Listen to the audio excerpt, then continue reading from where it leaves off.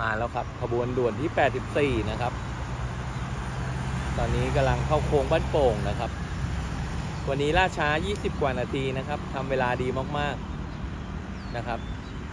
ตอนถึงราชบุรีนี้ล่าช้าเยอะนะครับ พอก็รอเก็บไล่เวลาดี ตอนนี้เสียเวลาประมาณ 27 นาทีนะครับ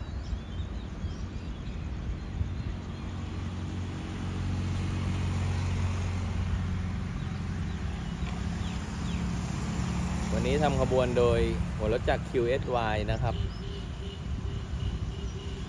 ถือว่าไล่เก็บเวลาที่เสียไปได้ดี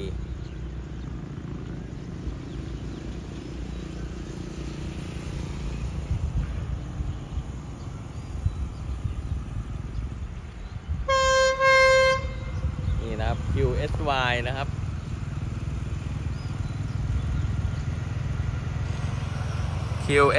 Y 5 2 0 5 ครับ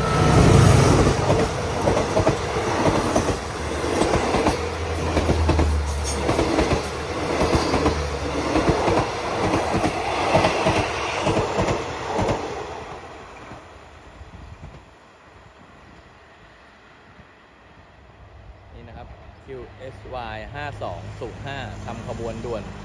ที่ 84 นะฮะ ต้นทางตรังไปทางกรุงเทพอภิวัตรตอนถึงราชบุรีราช้าเยอะนะครับ แต่ตอนนี้ไล่เก็บเวลามาถึงสถานีบ้านโป่งราช้าประมาณ 27 นาทีนะครับ ก็สะพานยกระดับสายนครปฐมกาญจนบุรีไปแล้วนะครับกำลังผ่านชุมชนบ้านเมงนะครับ ก่อนที่จะผ่านชุมทางหนองประดุกนะครับ ตรงสะพานลอยไกลๆด้านหน้านะครับ เป็นสะพานเกือกม้านะครับ อยู่ที่ย่านชุมทางหนองประดุกนะครับ ก็ฝากเพื่อนๆนะครับ กดไลค์กดแชร์กดติดตามกันด้วยนะครับ ถ้าชอบคลิปก็อย่าลืม subscribe สั่นกระดิ่งกันด้วยนะครับ จะได้ไม่พลาดคลิปใหม่ๆหนองประดุก Channel ครับ